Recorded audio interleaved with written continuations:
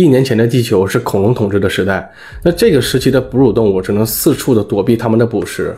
到了六千六百万年前，彗星撞向地球，结束了恐龙的时代。那这也是哺乳动物崛起的开始，而喜马拉雅山也是在这个时期形成的。一直到了三十万年前，智人才出现在了地球上。那对于我们来说啊，一百年就代表了几代人，而三十万年正好是一百年的三千倍。那如果到了上亿年的时间，这种维度啊，根本不是人类可以想象的。大家好，今天聊一亿年后的地球和宇宙会变成什么样子。那这个话题可能会有点难，因为人类连下一秒世界的变化都预测不了，更不要说一亿年之后的事儿了。因为未来的不确定性太强了。就像人类之前的一万年都是在种地，但是近代只用了三百年的时间就已经可以探索宇宙了。但咱们今天说的一亿年之后，不是预言或者算命，而是根据地质的演化和天体运行的自然规律去预测未来可能会出现的事儿。所以从现在开始的一万年之后，人类差不多会繁衍三百三十代左右。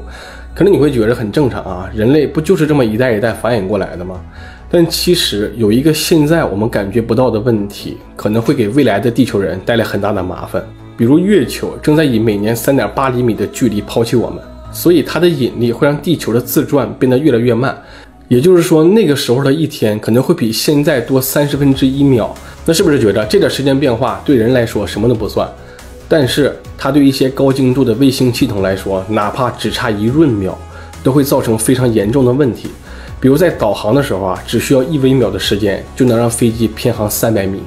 那先说一下，一秒等于一百万微秒，所以如果时间出现了偏差，那人类能不能手动的每个月或者几天就加一次闰秒？那首先这个想法很天真，因为闰秒不是想什么时候加就能加的，它必须要根据地球的自转速度和变化去调整。那其次，就算我们每个月都可以手动的加一次闰秒，也跟不上地球的自转变化。所以才说，一旦闰秒这个机制可以被随意的修改，那么地球也就不会再有统一的时间标准了。这会让卫星系统停摆，导致导航失去作用。也就是说，包括飞机、船舶在内的一切交通工具都会变成瞎子，无法运行。就这么一个非常小的问题，到现在哪怕是全世界最牛的科学家团队都解决不了。那如果时间再推后到一万五千年？这个时候，地球的气候会经历一个大轮回。比如现在的撒哈拉沙漠，让你想不到的是啊，在一万一千年前，它可能是一个水源充足的大草原。那基本现在所有的人都知道，一年有四个季节，对吧？这是因为地球它的自转轴是倾斜的。但大部分人不知道的是，地球的自转轴它不是固定不变的，而是会像陀螺一样不停的左右摇摆。这就是我们常说的地轴岁差，因为每过两万六千年左右，自转轴就会摇摆到对面的方向，它是一个完整的周期。也就是说，现在的沙漠地区经过了岁差的变化，可能会变成绿洲，而现在的绿洲也会变成沙漠。那这种影响它不是针对单一地区的，而是全球性的。再推演到十万年之后，我们的文明还能不能存在？这个应该是没有人可以确定的。但是根据科学家在二零一七年发布的一项研究显示，现在的文明。它是一定会消失的，因为根据推算来看，地球差不多每过五千到四万八千年，它是一个周期，而在这个周期里，一定会发生一次足以毁灭生命的火山大爆发。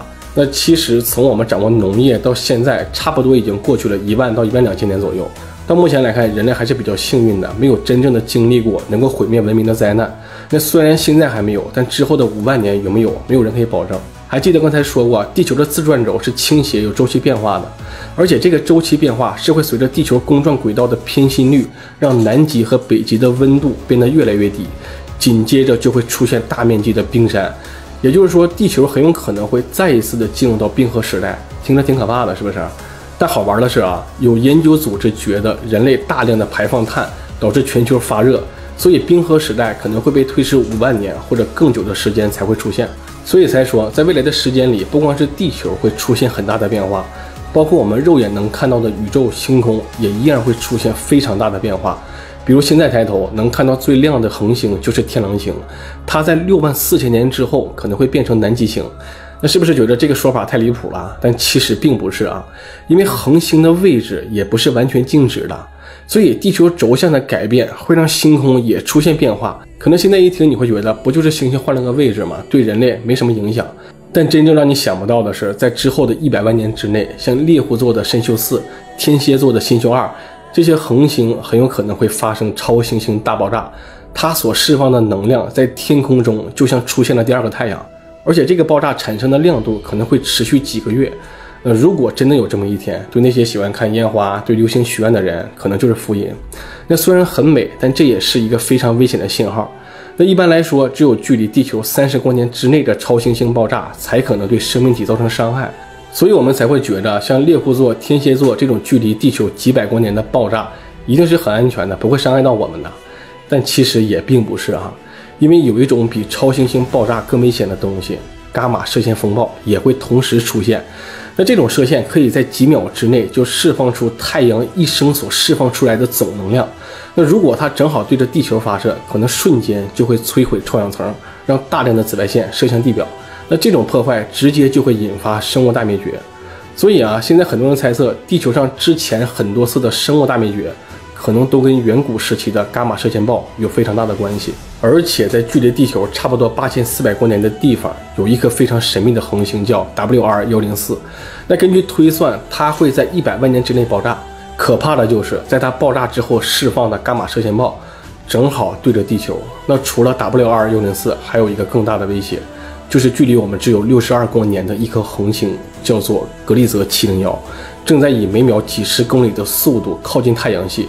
那根据计算，它可能会在一百二十万年之后，从太阳系附近的零点一七光年擦肩而过。也就是说，到那个时候，七零幺它会变成整个银河系中最亮的彩。但可怕的是啊，它的路过会干扰到太阳系的外围，尤其是奥尔特云里的上亿颗彗星。也就是说，在那个时候，这些彗星会像加特林扫射一样的进入太阳系。所以，科学家预测，地球被彗星撞击的风险直接提升几百倍。那我们都知道，生物大灭绝基本都跟行星撞地球有很大关系啊。那最出名的应该就是六千六百万年前导致恐龙灭绝的那一颗。而现在我们面临的生物大灭绝，可能就会发生在一百万年之后。到那个时候，只要有一颗彗星撞向地球，不要说人类啊，是所有的生命都会被抹掉。所以根据这些研究和推算来看，整个人类的文明都生活在一场逃不过的宇宙灾难倒计时里。就算现在我们有最新的武器，也阻挡不了彗星撞地球。也许到了那一天啊，才是真正平等的开始。最后，我知道你一定会想跟我月薪三千什么事儿，但现在可以肯定的是，未来一亿年的地球都不会平静。也许我们看不到那一天啊，但请记住，任何时候开心第一，因为在宇宙的时间线里，不要说我们，就连地球都是一样的渺小。